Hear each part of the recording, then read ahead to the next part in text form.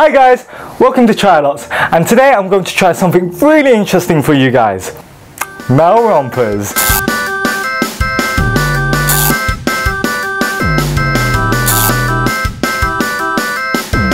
So every year the fashion industry changes its trends and styles and this year it's an interesting take to the females rompers and today I'm going to try out a male romper so you guys don't have to.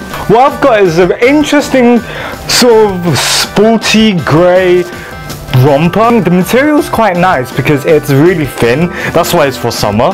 Um, so let's get it on.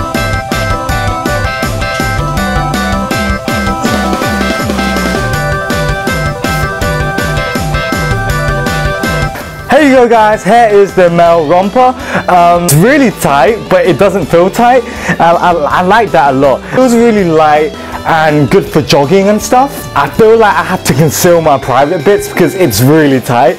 I feel like I can run in these if they were a bit um, bigger. Looks really tight here, but it doesn't feel tight at all. It feels really easy, breezy, summery. I get why it's a summer trend. It does look a bit girly, but if it was in a different pattern maybe or different style, then maybe it will look more manly. This is amazing. I like it a lot. Maybe if it was in a different pattern, I would definitely consider wearing this in public.